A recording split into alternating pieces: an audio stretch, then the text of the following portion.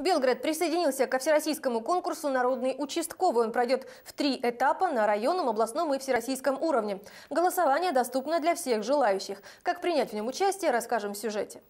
Алексей Сафонов – победитель регионального этапа конкурса «Народный участковый-2013». Майор полиции, старший участковый уполномоченный, работает в Волоконовском районе. По его словам, благодаря конкурсу его труд стал заметнее. Многие поздравляли, да, высказывали слова благодарности также. Вот. Но также в работе еще более, более стараюсь э, подтвердить свое как бы, доверие гражданам. Второе место на региональном этапе занял Федор Стояненко, участковый полномоченный третьего отдела полиции УМВД России по Белгороду. На вверенной ему территории в основном молодежь, студенты НИУ БелГУ. В этом году он планирует не упускать шанса на победу. В конце августа, начало сентября было у нас поселение в общежитии на старой площадке, и приезжали родители.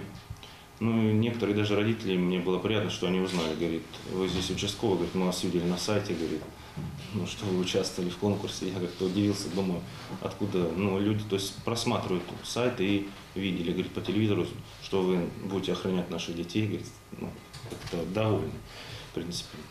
Ну, а так, хочу сказать, участвовать в конкурсе, конечно, это хорошо, побеждать еще лучше. Старт онлайн-голосованию был дан на пресс-конференции в областном УМВД. Ознакомиться с профессиональными достижениями и личными качествами участников можно на официальных сайтах МВД России. Начало сегодняшнего конкурса, вы знаете, первый этап, он пройдет среди всех территорий районного звена, где люди будут иметь возможность высказать за своего участкового, которого не знают, которого не- они верят, которого поддерживают.